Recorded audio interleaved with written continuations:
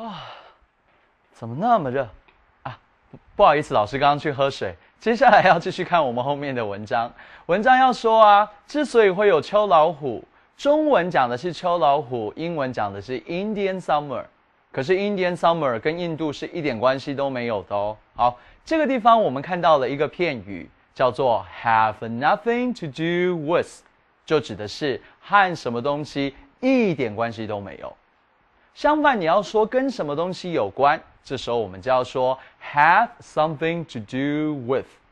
举例来说，我跟这个案件一点关系都没有，请你不要问我哦。I have nothing to do with the case. Please don't ask me questions about that.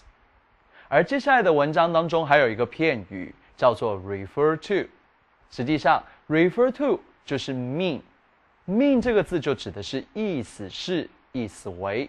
所以这里的数据资料就指的是我们去年的销售。The figures refer to our sales last year。当然，refer to 除了可以指明意思是之外，还有另外一个很重要的片语，就是 refer to 后面加一个受词，再加上一个 s。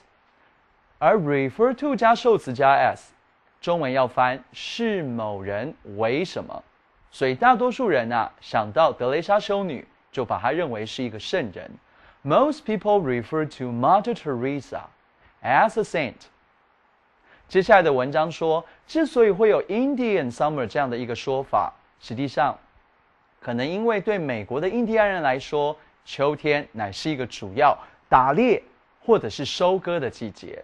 而接下来我们要看到的是 originate 这个动词。这个字当做动词，就是起源于、来自于。习惯上啊，我们在 originate 这个字的后面会加上一个介系词 from，而这个字的词类变化是 origin，是它的词类变化名词，指的是起源、来源的意思。这个字的拼法是 o r i g i n，而接下来又提到了有一个非常关键的生字叫做 prime，prime 这个字是主要的。而对电视台来说，prime time 就是一个电视台最赚钱的时段，叫做黄金时段。以上是我们今天全部的课程内容。接下来要进行的是 For You Chat 这个单元。